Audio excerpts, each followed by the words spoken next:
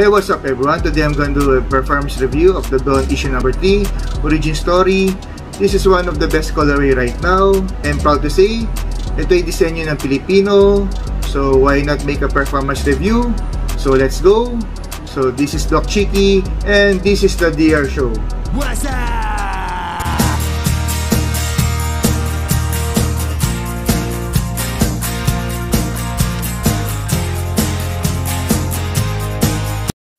The Dawn issue number 3, Origin Story, is a special release from Adidas with special collaboration with Jappy Agoncillo. Sino ba si Jappy Agoncillo? Is a Filipino illustrator, muralist, and painter. His work is greatly influenced by his love for stories and heroes, stemming from his being brought up on comic books, television, and skateboarding. As you can see, there's uh, dynamic visuals and bold colors uh, used in his work. A few details on the shoes. Uh, on the elastic band, meron siyang text na determination over negativity. Yun ang ibig sabihin ng Dawn. On the heel part, meron siyang tiger stripes, which signifies Jappy's signature mark and Donovan's middle school. On the insole, meron siyang jazz icons, which pays homage to Donovan Mitchell's uh, Utah Jazz. And on the outsole, there's a map of Elmsford, New York, which is Donovan's home state. and on the left is the map of City of Manila. Uh, yeah, uh, uh, uh.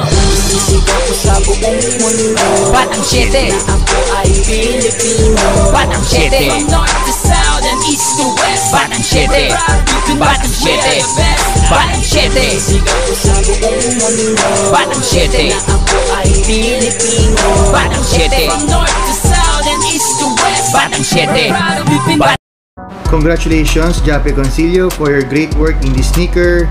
You made us proud. For the box, we have a Donovan Mitchell's logo on top of it and text issue number 3 on the side.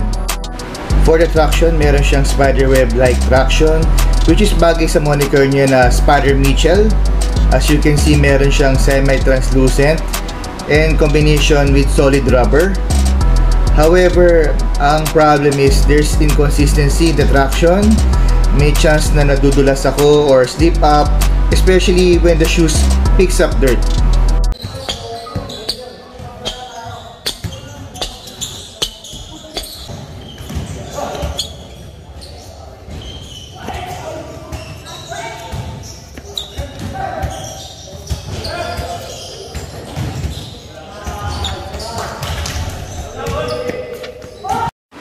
There is a smooth heel-to-toe transition, uh, minimal squeaking sa floor, and ang problem is it easily collects dust or dirt, causing the occasional slip-ups or pagkadula sa floor.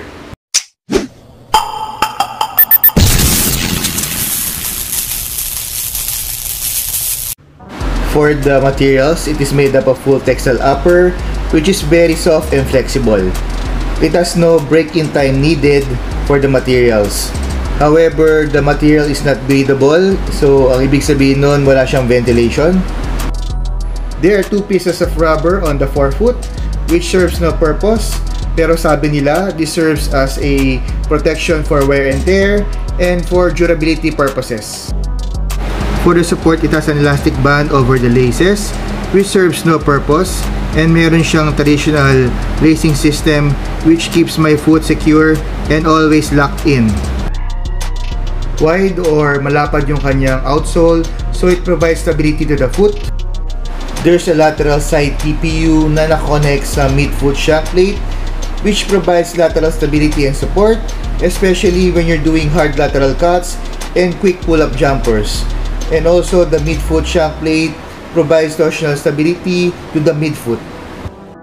The main problem of the shoes is the heel slippage. So, parang may feeling yung paa mo na unsecured. So, every time you run and jump, parang mararamdaman mo na natatanggal yung sapatos mo. Even you tied uh, your laces very tight, it's still there.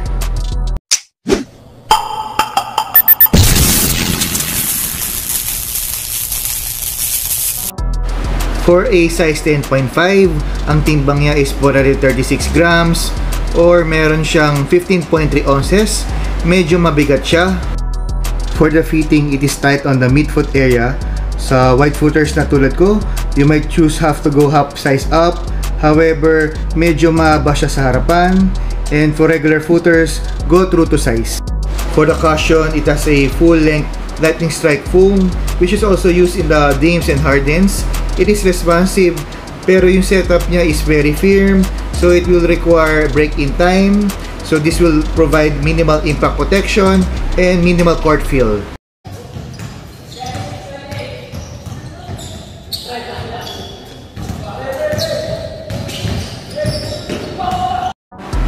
It has a very thin insoles, napakanipis niya. This will not provide comfortability inside our foot. So what I do to remedy this, I replace it with orthotic insoles to provide the much needed comfortability inside the foot.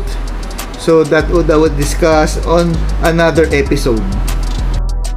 For the comfort, it has a medium padding on the heel and ankle area. The tongue is well padded, it is plush, and komportable siya.